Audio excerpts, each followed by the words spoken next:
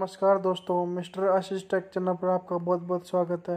दोस्तों, अगर वीडियो अच्छा लगे तो लाइक, शेयर, सब्सक्राइब और बेल आइकन को ज़रूर दबा दिए ताकि आने वाली हर वीडियो आप तक पहुँच सके। तो दोस्तों, बिना समय बर्बाद किए चलते हैं कोल्ड्रा पर